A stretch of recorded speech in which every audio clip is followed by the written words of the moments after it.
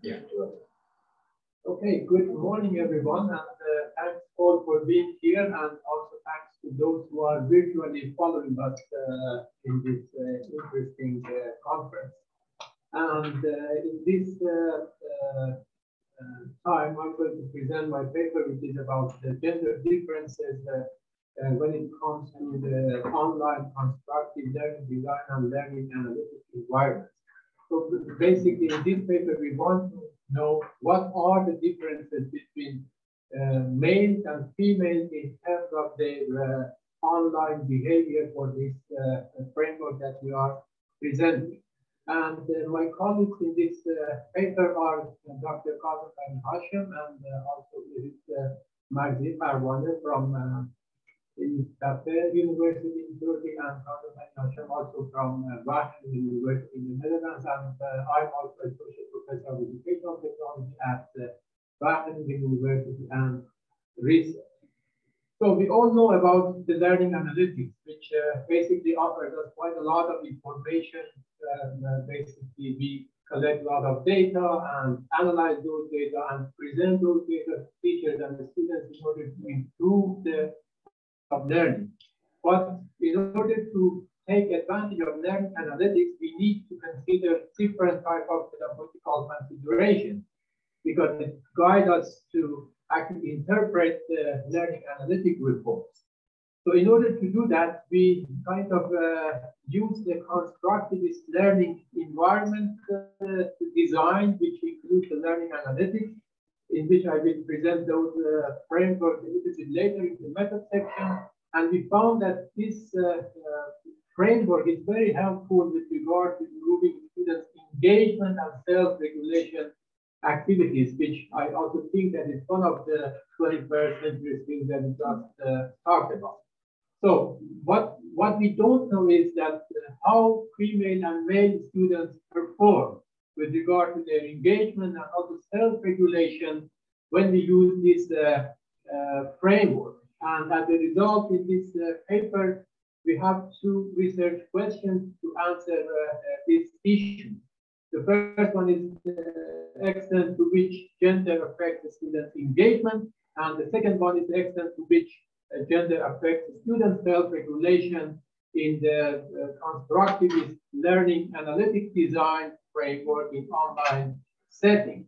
So basically what we did uh, was that uh, we conducted a pre-test, post-test designed with one group only and uh, the study was conducted in Iran at Tabataba'i University. We used the uh, Moodle platform and also the course that we run this experiment was called the teaching skills in which uh, was run with uh, basically two consecutive weeks. Uh, in total, 50 graduate students participated in this study, and there were only 13 male students and 37 female students. So we could not actually uh, uh, kind of balance this number because it was conducted in a real educational setting and we didn't have any influence on that regard. Uh, when it comes to measurements, we used two uh, uh, surveys. The one was uh, basically from uh, Reeve and the change agent engagement scale, and the second one was from Brown self-regulation scale that we used uh, in order to actually measure student's uh, self-reflection, self-regulation, and also engagement. And we conducted MANCOVA in order to actually uh, analyze the results. So this is the framework that I was talking about. This framework includes two different elements. The first one is the learning analytics elements, which basically offers us a lot of information in terms of data, the, the, the techniques, the process, objectives, and stakeholders, and also the learning design, which uh, basically uh, has quite a lot of elements such as demonstration, activation, interaction, facilitation, application, and also evaluation, or you may also call that assessment. So we uh, offer this uh, uh, basic education based on this framework. And uh, now I'm going to just show you the results in terms of the differences between male and female students with regard to the engagement performance.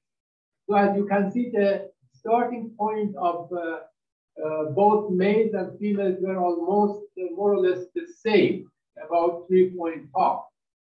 Uh, but uh, in the post-test, you see that the females uh, learned much more than the male students, and uh, this means that engagement of females basically were much better than males when we use this framework in this online environment. Also, when it comes to the self-regulation, the same pattern uh, uh, was true, meaning that again, the starting point was 3.5 almost for both male and female students, but you see the growth uh, with regard to the self-regulation activities of female students, which is much higher than male students. And uh, this basically uh, tells us that uh, when we use this kind of constructivist learning analytic design, female and male perform differently, especially in online settings. So females tend to be more engaged and females also tend to be more self-regulated than males. And that has consequences for the design of the learning environment. That has consequences for teachers. So when they want to use this constructive learning analytic design framework in their online teaching, they have to put more attention to the male students because females are more self-regulators than males. And also females are more uh, kind of engaged than male students. So uh, this is also uh, based on the literature that uh, perhaps different kinds of instructional strategies are needed in order to actually take advantage of this design for both female and male students. Thanks for your attention, and I hope uh, that this is insightful for you. And if you have questions, you can send me email, and uh, I will be happy to respond. Thank you.